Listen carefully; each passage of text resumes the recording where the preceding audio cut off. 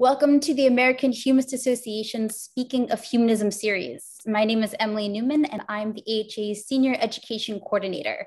Today, I'm excited to share AHA's own Executive Director, Roy Speckhardt, talking about his new book, Justice Centered Humanism. Proceeds from this and Roy's first book, Creating Change Through Humanism, support the AHA's work. Roy also serves on the advisory board of the Religious Freedom Center of the Newseum Institute, is a member of the Forbes Nonprofit Council, and previously served as deputy director of the Interfaith Alliance. So thank you again for joining us, Roy, and I'm going to hand this off to you. Today, as we struggle with a worldwide pandemic, people are waking up to the dangers of despotism, and some anti-reason leaders like Donald Trump have finally fallen. Progressives are moving beyond past levels of awareness by learning about their privileges, doing the work to understand the course of history, and committing to being allies in making a more just society. People are organizing for the rights of Black and Brown lives in numbers and effectiveness that hasn't been seen in decades. But even as these victories for humanism are cause for us to rejoice, we know there are plenty of other extremists who remain in power. And we find ourselves in disbelief as millions of people continue to vote for and otherwise support intolerance. Religious freedom is being used as a weapon to pressure people to conform to narrow moralities of bigoted religious political extremists. That's why we know our struggle for a more reasonable, egalitarian, and compassionate world, a humanist world, has a long way to go. It's also why it's so important for us to champion the rights of others and recognize the connections of these efforts to our foundational rationalist and humanist values. It's in that context that I'd like to read to you a short chapter uh, in my new book, Justice Centered Humanism, which I've got here handily, um, and um, can be got online at Amazon and so forth. Well, one caveat first is I should tell you that um, the book subtitle, How and Why to Engage in Public Policy for the Good, um, it's, it is a bulk of a lot of this book is about how public policy advocacy is the best method for instituting lasting positive change. Changing public policy is a, a long-term project, often two steps forward, one step back, with changes seeming so small that they barely impact lives. But they do impact lives, millions of lives, and the small changes add up to life-changing new realities for whole swaths of society. With that said, I'll read from the book the chapter, uh, Why Social Justice? Once prejudice against non-theists fades away, religious favoritism is removed from government and humanists everywhere are appreciated for the kind and reason-based thinking that we, that we can, we can begin to focus on full-time on promoting science-based, compassionate, and egalitarian vision for the world that we have. But until that day dawns, we must try to make a difference in as many ways as possible even if we have not yet realized our many long-standing goals. To delay action on other fronts when action would improve lives would be to negatively impact the fates of many, and that's not a good choice for humanists. As humanists become more widely recognized as a group that prizes ethical principles, scientific knowledge, we should use that leverage to ensure that human and civil rights are extended to all, not just to a few. If we want a better world, we humans, as we know, are the only ones to do it. This is an opportunity to matter, to impact the course of history for the better, and to improve the story of humanity. While many humanists embrace social justice work without hesitation, it's worth mentioning that not all are on board. Some folks characterize social justice work as a kind of toxic identity politics that narrows perspectives and leaves reason and debate behind. That's a mischaracterization but it does hint at some valid concerns.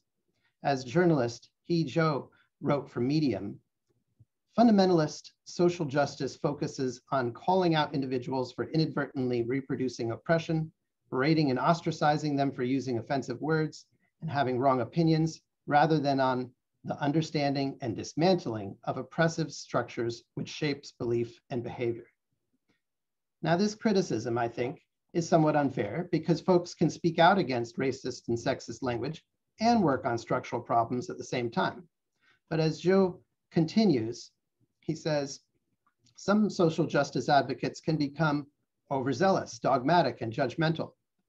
Their voices can become shrill and sometimes tragically exclusionary, which paradoxically hurts the movement itself. But perhaps understandably so, because it's the first time some victims of oppression have any voice at all. This situation isn't really surprising. Beyond those who exercise their right to oppression sourced anger, every movement, every social group additionally has its own uncompromising, dogmatic individuals who focus more on tearing structures and people down than on building a better future for everyone. But the, the take home here is the bulk of those who seek social justice are simply seeking fairness for those groups in society that are still getting a bad deal today. They work toward an equal playing field for everyone, an end which humanists can naturally see value. For some, it's challenging to evaluate whether social justice related concerns are rooted in strong foundations or weak dogma. But we perform better if we acknowledge our privileges, set aside explicit biases, do what we can to overcome implicit biases, and address our own fragility when it comes to self-analysis. Explicit racism, sexism, and the like are both conscious and overt. If you're willing to do so, please take a few moments and add examples of explicit bias that you know of, um, that kind of discrimination, this explicit discrimination, to the chat. I'll give you a minute or two to, to put that in so that we can see some examples. I like to have this a little bit two-way. I know your videos are off and your sound's off, but we'll, we'll, we'll get to some chatting soon too. But, um, but yeah, so I'm looking for examples of explicit bias.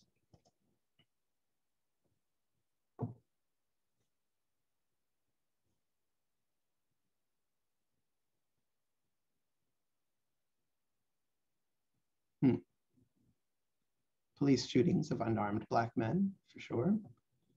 Hiring someone based on race. Exactly. That's a very specific one that fits. Um, right. All right. Some good examples coming in. As that, that's that those are coming in, I'll say that um, such explicit bias really can tear at the hearts and minds of humanists and others who embrace egalitarianism. And but implicit bias, as opposed to explicit, is more subtle, perhaps less galvanizing, and can be unconsciously perpetrated. But that doesn't make it any less pernicious. So those of you who are adding in explicit bias example still, um, please shift course and add in maybe an example or two of implicit bias or unconscious bias that you can think of. Add, to add that into the chat, if you don't mind. I'll give you a minute for that while I have a sip. Oh yeah, yeah. Thanks for uh, pointing that out. Yeah, be sure to put to uh, your into the chat to all panelists, panelists and attendees so that it goes to us all. Because I've seen some that gone to just the panelists here. Yeah, quite a few in fact. but uh, thanks for your, your, your good points here associating stereotypes with genders, unconsciously assigning someone lower status because of skin color, very good. Um, and not good, of course, but good example of implicit bias. Age bias in the workplace. Mm -hmm. um, right, fear of offending people of different races, that can be a case. So just to kind of uh, get into this a little more detail, explicit bias, you know, is expressed directly we're aware of the person who is expressing it is aware of the bias. It operates consciously. An example might be saying women who are mothers are not serious about research. Uh, whereas implicit bias is expressed indirectly, where the person expressing it is often unaware of that bias and operates subconsciously. So someone might, for instance, not promote a woman with family, um, not inviting them on research collaborations, but not be able to pinpoint why, even though they're perfectly qualified. Um, so implicit bias remains hard to change, but new ways to address it are being considered all the time. Implicit biases impact all kinds of judgments, from those a judge and jury makes, to those a hiring manager makes, to those a law enforcement officer makes in the heat of the moment. You can test your own implicit bias online, if you haven't tried it yet, with the Harvard Implicit Bias Test just search for Harvard implicit bias test on Google, it'll pop right up. Um, but, um, but it's pretty interesting to do this. I think, you know, even the most woke among us can see some, some, some areas where there is um, implicit bias. Robin DiAngelo, a lecturer at the University of Washington and a humanist who spoke at the AHA annual convention in 2017, coined the term white fragility to address counterproductive behavior commonly seen in dominant culture. DiAngelo explains, white fragility is a state in which even a minimum amount of racial stress becomes intolerable, triggering a range of defensive moves. These moves might include the outward display of emotions like anger, fear, and guilt, behaviors such as argumentation, silence, and leaving the stress-inducing situation. These behaviors, in turn, function to reinstate white racial equilibrium. This insight could equally apply to other forms of behavior, such as male fragility, heterofragility, and the like. Without being confined by attempts to cater to white male hetero comfort, we should seek approaches that prompt change. As actor Jesse Williams said at the 2016 Black Entertainment Television Awards, the burden of the brutalized is not to comfort the bystander. So why, so this tells me um, to white straight males like me out there, this isn't their problem to fix. It's not them we should go for answers. We have to do the work to educate ourselves and seek solutions. And it's, it's we can do that. It's the information's out there. And I'll get to that a little later. Um, bringing this issue up is especially important to challenge assumptions about how free we are from the isms that are all around us in this culture. After all, as I've heard said, though unattributed, when you're, un, when you're accustomed to living with privilege, equality can feel like oppression. In fact, while cognitive scientists have found that bigoted speech and bigoted action often come before the myths that we use internally to justify those actions. We can head off those actions first, both so that we can act better and so that we don't unconsciously then reinforce bias in our own thinking. By recognizing our own defensiveness for what it is, we might be able to push past it and better ourselves in ways that can help us to better our culture. Social justice advocacy involves respect for equality of all people, compassion for the dignity and welfare, and a conviction that positive change requires human intervention. Regardless of who we are, we shouldn't have to struggle to see marginalized people as humans. And thus, this is a natural focus for humanist activism. Ideally, we take an intersectional approach to pursuing just social justice. And you've all heard of intersectionalism, but just a popular definition, you know, according to Webster's dictionary, intersectionality refers to complex and cumulative way that the effects of different forms of discrimination, such as racism, sexism, and classism, combine, overlap, and yes, intersect, especially in the experience of marginalized people or groups. Now, this fits with the humanist understanding to the point that it's almost foundational to humanism itself. Humanists pursue a way of thinking that we're convinced is more positive and effective, not just for ourselves, but for all society, particularly marginalized groups. And this can be applied in a number of contexts, such as addressing the myths of meritocracy. Of course, we aren't living in the meritocracy that some folks thinks this is. We know that the accident of where we are born, to what sort of parents we are born, dramatically limits our chances or open doors of opportunity. Inheritance laws, prejudicial advantages, class barriers, glass ceilings, and many other factors direct us towards success or failure in our endeavors. Now, some may overcome those barriers through hard work and good luck, but the odds are what they are. Without removing personal responsibility for our actions, we will cultivate better empathy and compassion for others in society if we understand that we don't all have the same prospects or at least the same probabilities. Just as the successful don't necessarily achieve that success on merit, neither do the unsuccessful always necessarily achieve their state due to lack of merit. Recognizing this frames our understanding and need for pursuing social justice. If these conversations can make you feel uncomfortable, embrace it. Feeling a little uncomfortable and awkward might be signs that real internal change is being confronted, that part of the growth process that we must all go through. There's no reason to feel embarrassed, by the way, that you have progress to make on social justice issues. We all live in a society where the norms work against us on such topics. It'd be surprising if even the most conscious and enlightened folks still didn't have some work to do in some areas. Doing that good work helps us become better allies, and we can strive to be more than just good allies on the periphery who just provide moral support. We can also be good accomplices and co-conspirators with those activists on the front lines.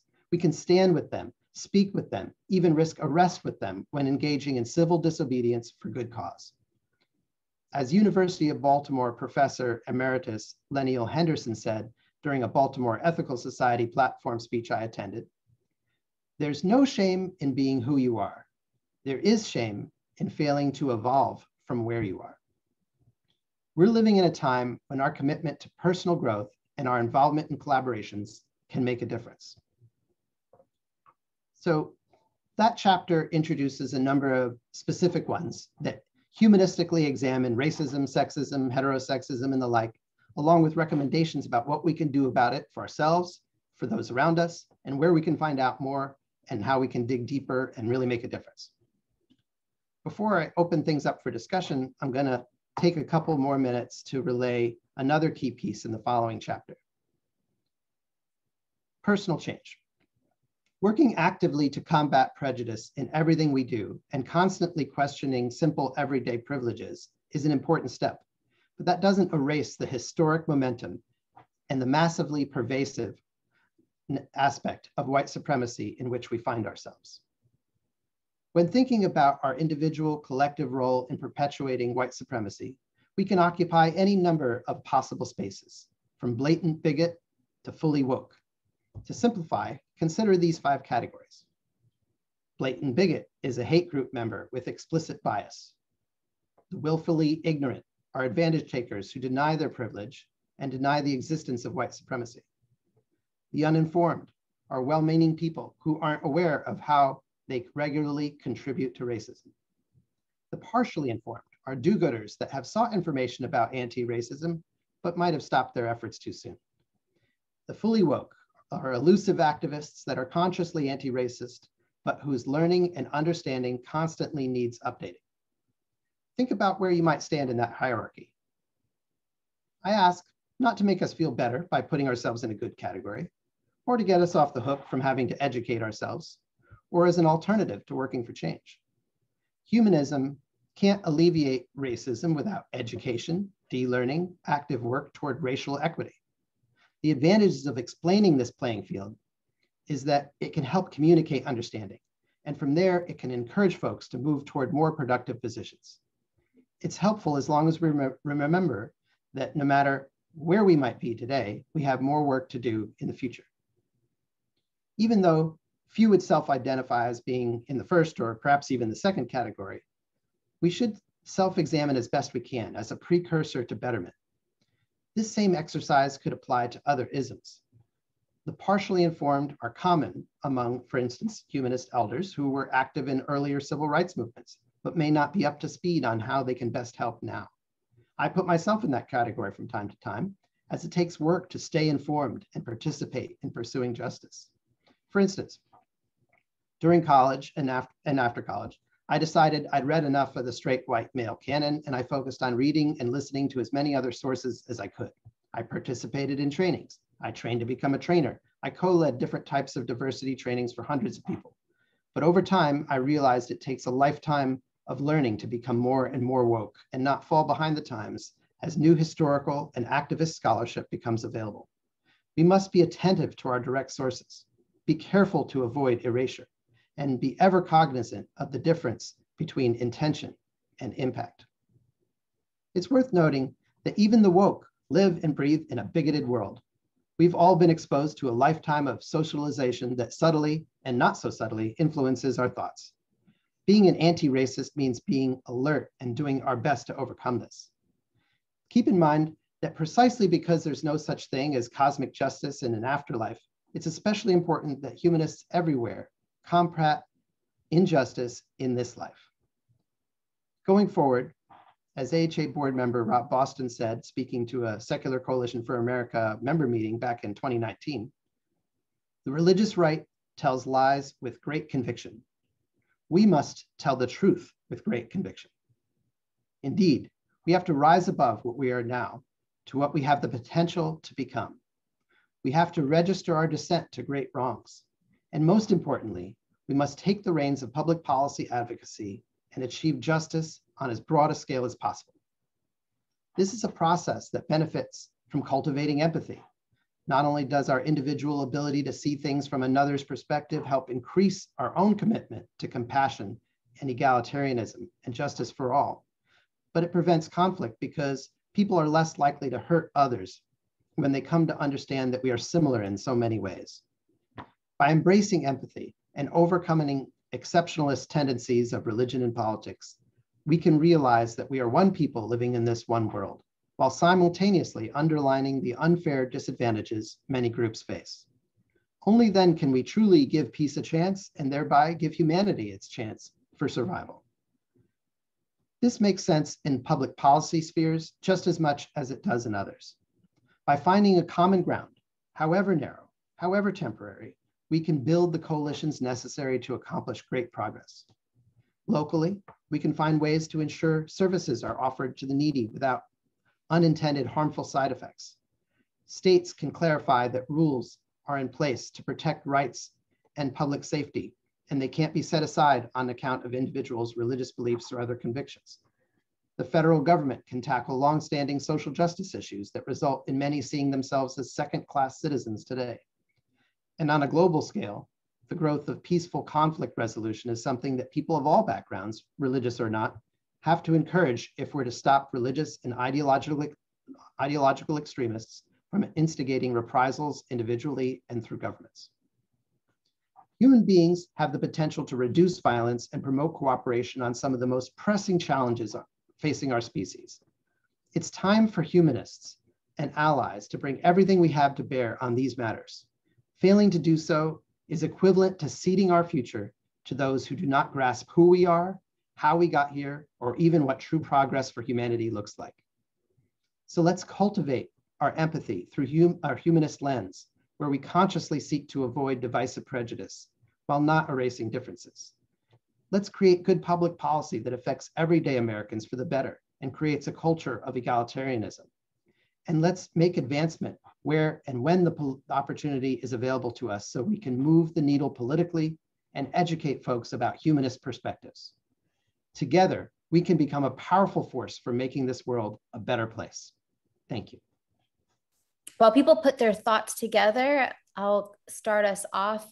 Um, Roy, you kind of mentioned about the importance of um, political and policy action, and yet we also hear sometimes people use politics as an excuse to not get into uh, wokeism or uh, intersectionality, and they worry that uh, that certain terms have been kind of taken over by certain political systems. And I wonder if you have any thoughts to share um, with people with uh, kind of the the excuse of staying away from social justice work because of how politicized it can be. Yeah, I think there is that sense that politiz- politicization that suggests that it's a um, a um, uh, missing the word, but a polarization as well. And people aren't attracted towards, a lot of folks, you know, avoid that kind of polarization. But I think that um, in today's society, it's part of stepping up and making a difference. I mean, there really are radically different view, viewpoints out there today, as has been brought home to us in the last presidency in a way that I hadn't believed before that myself. Uh, there is uh, a real need for those who have progressive and more humanistic leanings to get out there and say something about it. And I think that we have to overcome the concern that it's just politics because politics are the way we get things done. Um, I see some questions popping up. How can we get the word God off our money and out of the Pledge of Allegiance? Well, um, we um, there's a few things we can do, and our, our legal team's working on the pledge. Uh, there are some ways that are being explored um, to address the Pledge of Allegiance. God, getting God off our money isn't going to happen through the courts, at least in the near term, because the courts are really closed to us in that area. And frankly, if the Pledge of Allegiance case went up to the Supreme Court, we know what the courts look like right now. Not good for us. In fact, they're disturbingly not good. Uh, I've talked about this before, and I will I'll try not to go on too long a rant, but the um, um, there is a sense today that um, the courts are moving to the point where they're considering religious freedom and religious privilege to be to come first before every other civil right. and that is a problem. Uh, it's the opposite of what we have up to our neighbors in the north, where in Canada, they the, the Supreme Court of Canada basically said the opposite, that religious freedom comes after those other civil rights, and which is a lot more sensible. Um, that we, of course, America has had tried to have a balance in the past that has had sometimes good results and sometimes bad, but where we're headed is, is dangerous. And so in the courts, that Matt, we're not going to get there, but we might be able to get there in the courts of public opinion, where more and more people are non-religious, more and more people are questioning whether theism is the way to go. Um, as we've seen the numbers skyrocket, uh, that way is the solution. Again, a long-term solution, but one that, that can really happen. Um, the next question, what can humanists do to stop voter suppression? There's a lot going on in this field, uh, as, as Biden talked about just recently. Um, and there's a lot of organizations that are trying to enter this space, and we can support them, whether um, they're trying to get rid of these voter ID laws, which are so uh, damaging in that they prevent people from getting access to the polls in the way they should, or other ways that states are putting barriers in front of people to get to the election. Um, you know, the, whereas the opposite is the case as well. We, we, we have efforts underway to try to make voting easier, having a voting holiday, having a voting, um, every, everybody can vote by mail more easily. There's, there's, there are lots of solutions out there that we could support. And I don't, I don't suggest that there's just one. I think we should go for as many as we can. Um, continuing with God and government, how do we stop prayer opening every session of Congress? Yeah, I think um, part of that is getting us in there in the first place. Uh, fortunately, we have a champion in Representative Huffman, um, one of the co-chairs of the Congressional Free Thought Caucus, which I, by the way, I go into uh, um, real play-by-play detail in this new book, Justice-Centered Humanism, about how that Free Thought Caucus was formed. I was able to see it firsthand and the players involved. It was a very exciting time. Anyway, Representative Huffman is uh, working to try to get a humanist invocation in, con in Congress. And, um, and I think that'll, in a way, uh, be a great moment for us to, to have our voice heard, but also kind of start breaking down the barriers because they're going to realize, well, if they can't have their Christian uh, white supremacist voice all the time, um, they're not going to be uh, happy with um, opening it up to all truly in the way that it needs to be if it's going to be fair. And so that's one way to work on that. I just want to jump in to also remind folks if you don't already know that the Humanist Society does um, endorse humanist celebrants and invocators who are and chaplains uh, who are very active locally. So it's kind of you know um, almost as we get more recognition on the ground throughout the country, we're building up uh, more attention to make sure that the the higher government offices take us seriously. Right. Um, the next question asks about how whether we are even welcomed in, in some of these social justice endeavors, because there are groups out there who disagree with us.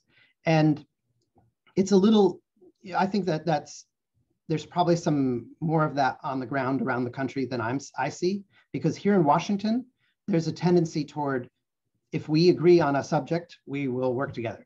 And if we agree on nothing else, we will still work together on that one subject. And a good example is that is um, the uh, American Human Association's legal work supported that of a um, conservative, uh, fairly right-wing um, uh, justice organization that um, that agreed with us on the free speech values on on uh, university campuses, and we were able to work together on that one issue, even though we've never agreed before. Um, and so I think that uh, in my experience, working with people from faith groups um, uh, all across the board, even even conservative faith folks, um, they're they're welcome to have us be part of those social justice debates. I don't know if it's a little different on the ground, but um, here in Washington, that that is that is common. Um, so, what role should humanists play in interfaith anti-racism initiatives? And this kind of plays on a little bit on the last one. So uh, very nice. Um, the um, I do think we should get involved as much as we can in uh, interfaith anti-racism initiatives. And I, I think that um, it's fine for us to, to be clear about who we are when we do that. So for when I first came on board at AHA, and um, this was 20 years ago, okay, back in 2001, um, then President Ed Doerr suggested, okay, we're on these coalitions. Um, don't mention that you don't believe in God. You know, they don't, they just they don't know what humanists are, just let them, let them not worry about it. and I thought that seems like a very strange approach. Um, and of course, quickly we, we stopped doing that and we got a more uh, uh, direct approach where we said exactly who we were and that why, why we we're participating.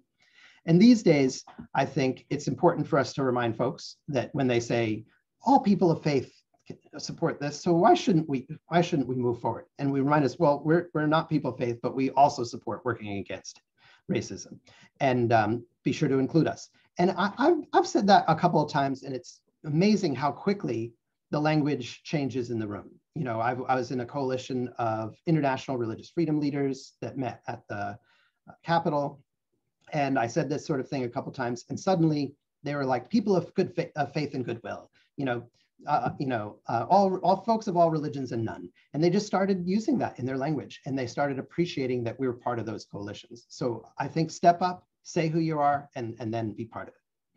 Um, I, I suggest you um, kind of to connect the questions again. Um, co- go down one to John Holmes, um, who's uh, who's asking about how he seems uh, it seems wrong to assume we can speak for others, even though understanding that um, you know those who are privileged should be stepping up to fix things. How do we achieve balance between figuring out how to fix things for ourselves and making sure we understand the problems? Oh, that's a challenging question. I, I, don't necessarily have the answer to that because um, it is a very it gets at the heart of things in some ways. Uh, we don't want to overstep we don't want to try to assume we know the answers. We don't want to play white savior, for instance, um, if, if we are white. Um, that, that isn't the way to fix things. We've, but what I talk about um, stepping up and fixing things ourselves, not asking for the, putting the burden on those who are um, brutalized. That's what, what I mean is it's, it's tough, it's up to us to do our own education, to figure out these things. So, you know, I've heard lots of folks say, oh, well, what do we do about racism? You know, someone, you know, who, you know, I guess we need someone who's uh, people of color to come and tell us what to do. No, that's not how it works.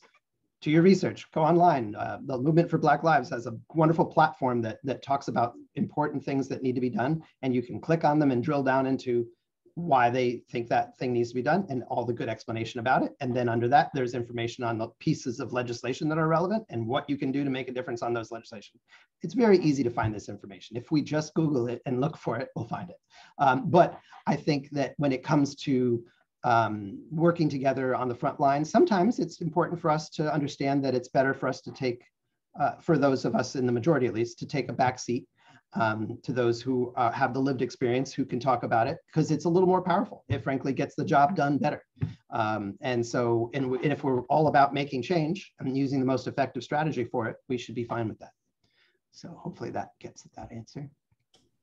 Um, I've found it hard to convince white secularists of the centrality of anti-racism in our work. Any help? Yeah, I think um, that I, I, have seen that too. And I think that um, it's improved over time. It may seem hard to see that improvement because sometimes we are confronted with um, um, disappointments, let's say. Uh, but, um, but in the 20 years that I've been involved, I've seen significant improvement in this area. And I think part, a lot of it just relates to education.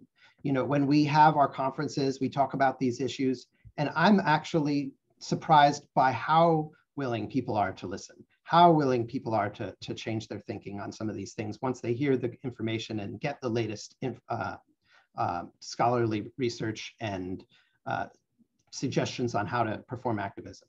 So I think that the flip side of it's more common than, than not, especially over time. But um, one of the, one book I'd also recommend is um, um, Tony Pinn's book on color blindness, which is a superb way to get started on the road toward anti-racism work, especially for those who are white secularists, because he really speaks to that audience very well in that book. Um, so just a particular suggestion. Um, aren't human beings naturally competitive? Can't they use their higher consciousness to become more competitive? I suppose so. Um, competition is, I think, baked into uh, the genes of all species to some degree. But um, that doesn't mean that we have to let that basic drive overwhelm us. I think that um, empathy is the tool to fixing that. Um, we talk about this in the Ten Commitments, uh, our alternative to the Ten Commandments that uh, that we uh, have lots of posters and things like that that have been selling a lot uh, through the AHA. Um, maybe we'll put a link into about the 10, But thank you. but um, empathy is one of the key drivers for this. So we, to move us away from this basic individualistic approach that is all about me and not about helping things for others. A world where empathy rules is a world where everybody gets along better, where the, where, where the realities and the results are better for all. So it, it's, it's just a more effective strategy um, than, than the base competition in my view. So that's, so yeah, is it part of our instincts? Sure, but we can overcome it. Um, let's see. Ranked choice runoff voting help with election free thinking candidates. Definitely better. There's so many better election systems than the one we have, sadly. Um, but ranked choice and auto runoff are very good options. And I know some local uh, places have systems like that. And uh, I support um, an organization about that that has election science in the title um, financially, and I know some some of our supporters also support that group because they're looking into some of these alternatives and trying to find ways to bring them up to higher levels of government as part of our choices because the current system really does polarize in a way that doesn't help us to get the best candidate in place. So um, I very much agree. Um, all right isn't immersion, immersion into other cultures one of the best ways for people to become comfortable interacting with people who are not like us? Definitely agree. Um, I think that's something that um, that that helps us for sure. You know, when I when I realized earlier in my life um, that I was trying to overcome these basic implicit biases and things that I recognized in myself from time to time. One of the ways I tried to do that was to um, join other communities and listen to other folks and hear what they have to say and and just be involved. And that immersion can be very useful in in that. But that that said um, there are spaces that um, need to be safe spaces for people who have been um, brutalized and and um, and and facing prejudice throughout society. And we don't want to force them to open up those spaces to someone who would then make that safe no longer a that place no longer a safe space for them to do what they need to do. So I think we need to be a little cognizant of that when we try to immerse ourselves in other cultures. But a lot of times there are there are lots of opportunities out there and, and public events and places that you can do that where it's it's not it's welcomed and not uh, rejected. So hopefully that answers that one. Um, human light and sitting down uh, for the pledge don't seem to be gaining traction. How does AHA adjust to this and new promotions are in the works? Yeah, I agree. HumanLight didn't really isn't really taken off so much. I, I, I had hopes for that, um, but the um, but I do think that uh, people sitting down for the pledge is working more than you might think. Um, we've had a lot of schools that are participating in that campaign. We didn't push it very hard, obviously, last year with the pandemic, and uh, the year before, just coincidentally. But we may try to re reinvigorate it again just because of how much success it had all it took takes is one or two kids sitting down in school and then suddenly um, there's an issue um, and that issue becomes in that class and then the other kids realize they can sit down too and and they don't and a lot of kids don't want to stand up because they're teenagers uh, or because they're they're non-theists or because they have other reasons so um so this it, it helps spread the idea in a really kind of exciting way but yeah, we should come up with new ways to do this. And um, we got to put on our thinking caps and come up with some new ways to address this issue and raise the uh, the issue the um, the cognizance of how the Pledge of Allegiance is discriminatory and how it's wrong to ask people to have their to, to have their kids go every day and recite this thing that speaks against the values of their family. And I think that's the sort of thing that mantra that we need to say when when this issue comes up. All right. Um, thank you, Andrew. uh, we live in a time when right wingers with deep pockets latch onto toxic instances of social justice activism. True, true. And spin it as representative of social justice work generally. Branching the vast bulk of progressive social justice activism is important and constructive, how do we humanists push back against the toxic social justice activism coming from our side of the big political divide? Really a challenge. I mean, kind of like I said, um, you know, it's it's it's very similar. I, I think to think back, you know, a couple decades ago to the atheist movement, when you know, in, in fact, the very first um, um, Godless March on Washington you know, a lot of the banners, a lot of the um, signs and and even some of the public statements that were made there were kind of embarrassing, like in how mean spirited they were toward people of faith, um, how how just um, they pass the line from making fun, make poking fun, which is uh, nothing wrong with that, um, critiquing, nothing wrong with that, to belittling and and things like that. It's just not nice. And yeah, that strategy wasn't good for our movement, but it's not like you can stop it. It's free speech. Um, and the, the, right is going to take advantage of it. You're, you're absolutely right. They're going to take advantage of those instances where um, things are said that can be taken either in context or out of context and um, and shown to be a problem. And I'm, I'm not, I don't know the solution to fixing that other than kind of reminding folks that the real reason people are working for social justice are to make a level playing field where everybody gets a chance to do better, something that'll only help the entire society do better. Um, that's what most of us are in this for. And kind of reminding folks about that, I think, is, is important. Um, let's see, Christopher. Within each of our communities or chapters, AHA, besides groups of progressive Democrats, are there other suggestions of groups where we should align? Many communities of humanists are aligned with UU and members, our numbers are very low with, without UU collaboration. In some places that's true. Um, there, there are lots of groups that we connect with. Um, UUs for sure, you know, probably something like half of UUs are, are non-theists and more than that are friendly toward humanists. Um, and then depending on the UU church, that can go pretty close to 100%. um, I know I've spoken to some UU churches around the country that are very humanistically inclined and some who are a little bit hesitant of us. Um, and the same is true in some other circles. I mean, there even United Church of Christ. Um, I, have I've spoke to a I did a, a, a class on humanism for folks from various backgrounds. So a lot of folks were religious in that community. And I remember um, somebody talking to me and saying, you know, I'm a member of this Episcopal church, but I believe in, I'm a humanist. You know, I've realized through this class, I'm a humanist. So should I stop going to church where I'm doing all this great social justice work and, um, and I'm able to communicate to good in my community and, and I don't really have an alternative here. And, um, and I'm like, well, you know, if there's a great humanist group in town or ethical culture society or something like that, you can join that. But if there's not, yeah, stay in your Episcopal church, do that good work. Don't just um, leave. And the more humanists there are in every different aspect of society, the better. So, um, so I think that, that humanists can be find, found everywhere when you when they're when you really look for them. But certainly, UU, ethical culture are are some of the big ones where you can find them. Um, and progressive circles in general, progressive Democrats. Yeah. Um, comment, a comment instead of a question we can express ourselves and suggest changes in society regardless of subject. Realize that a baseline of every discussion should be our commonality, that we're all humans in need of each other. Of course, yeah, I much very much agree. Um, and without erasing the fact that there are real differences, uh, but there are um, and different kind of um, predicaments that we might face.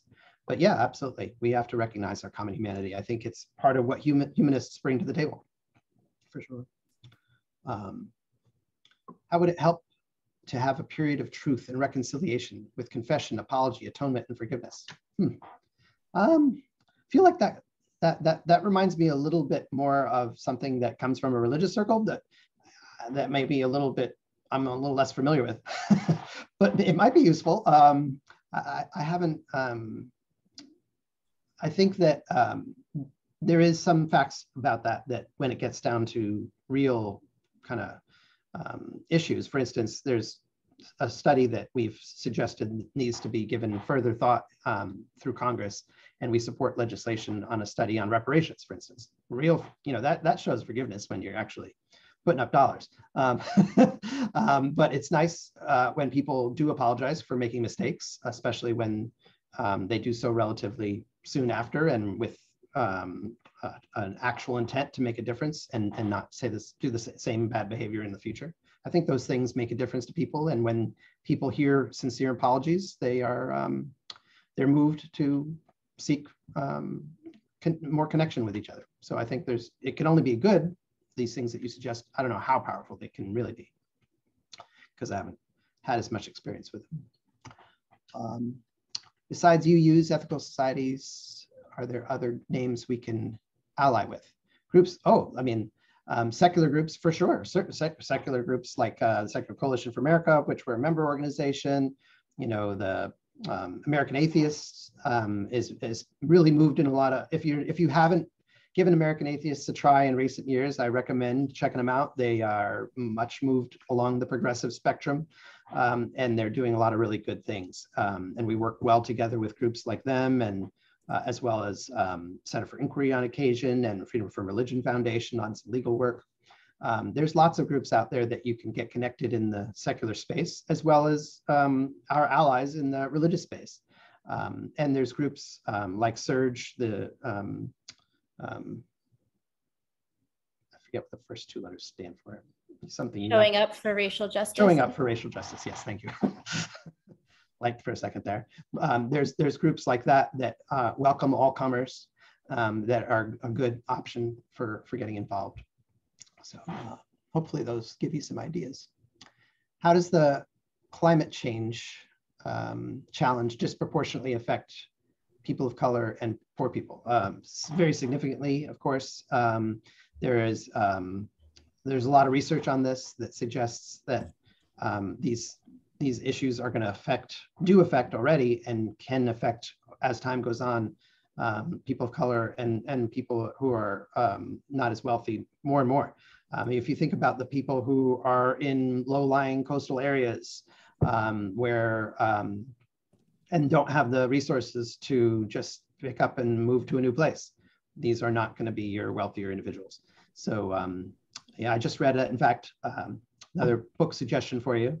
Um, uh, losing uh, uh, Eric Nguyen, uh, N-G-U-Y-E-N, who was a former staffer of AHA, who was in fact my executive assistant, um, has went on to do creative writing and now has a New York Times bestseller, um, Things Lost to Water.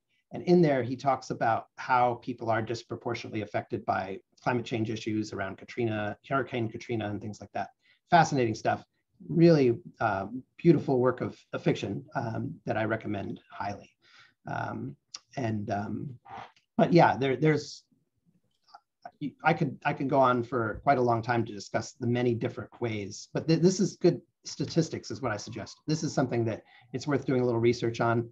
I, I don't know if I can point to a particular book on the subject. Um, I know I have some good um, resources on that in my book, The Justice-Centered Humanism. I have some links to other resources on that subject, but I can't think of them right off the top of my head.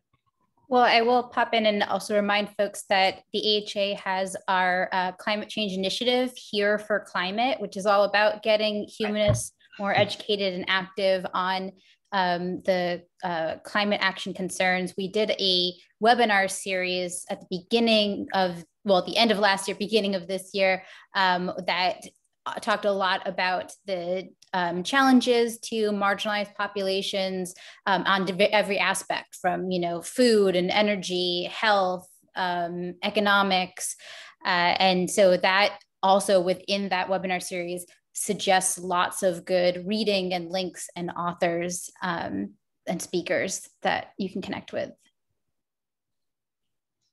Yeah. Thank you. Thank you emily. Very helpful. Um, thanks for chiming in um, and mentioning Things Lost to Water is on President Obama's reading list. That is so cool. Uh, Eric was a very unassuming, quiet individual in the office, um, and to see him um, advance in such a way is really quite ex exciting. Anyway, um, what other nations can we hold as examples to which the US should aspire? I, I think there are um, other other nations out there that are doing good work um, on secularization, on government support for um, thinking. Think I think of Scandinavian countries. Um, I think Andy Norman, who's been chimed in on the on the chat a couple times, has talked about how um, these other nations have put in uh, effect policies that are, are are better and that tend to be more universal and less tied to religion in ways that we have in, in the US. And I think that those are good examples. But there are there are there are others around the around the world that are doing good things in one area or another. Um, and when I talk about humanism's roots, I, I, think you can think about how there's so many places, you know, I, that humanism comes from today. And I, the way I say that is um, I'm not trying to rewrite history, uh, but uh, because you know he, theoretically humanism came from some particular source and then evolved, but it evolved over the years.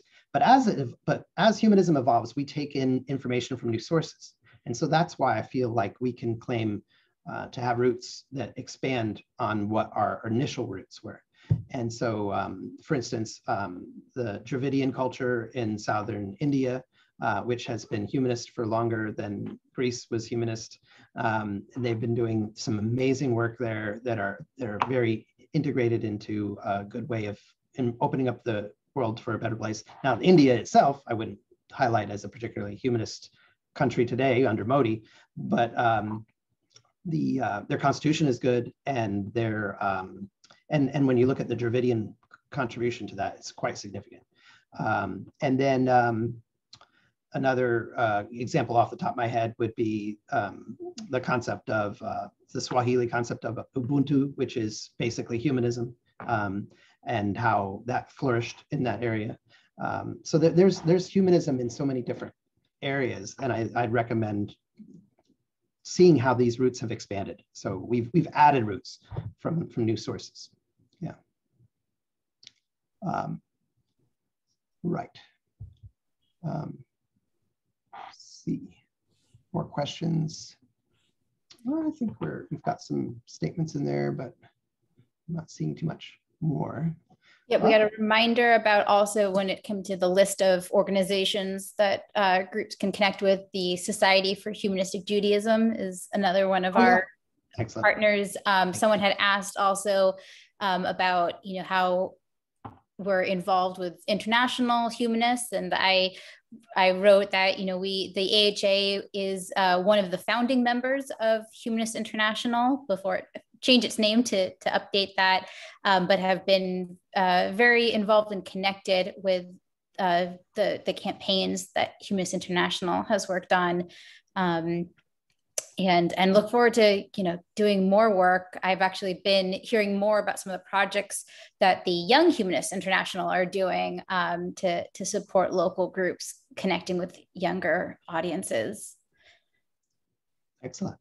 Um, yes so that that's that's great. Well i'm so glad to have a chance to chat with you all a bit and um, converse and i hope you enjoyed hearing a little bit about the book, which uh, again covers um, a lot of different areas in great detail, as well as policy work, and um, gives some some real specific suggestions on what we could do to make this world a little better.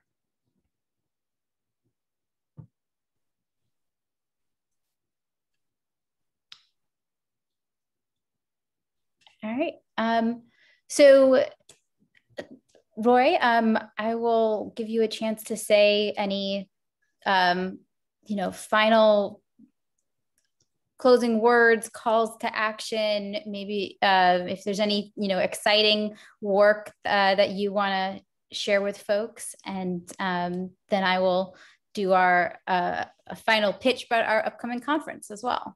Oh yes, exactly. Um, only a week away, really.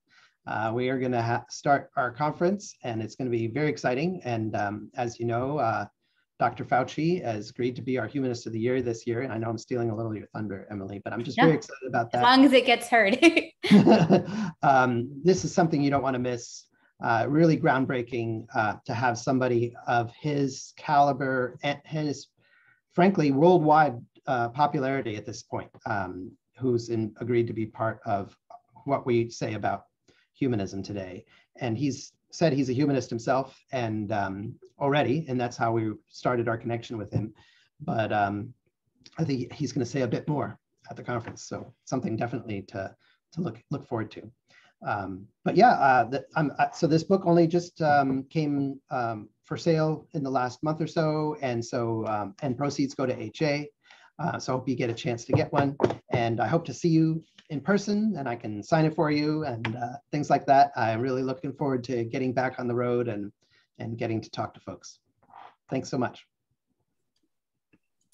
Well, thank you again, Roy, um, and thank you to everyone who attended. Um, again, uh, the registration link for the conference is conference.americanhumanist.org.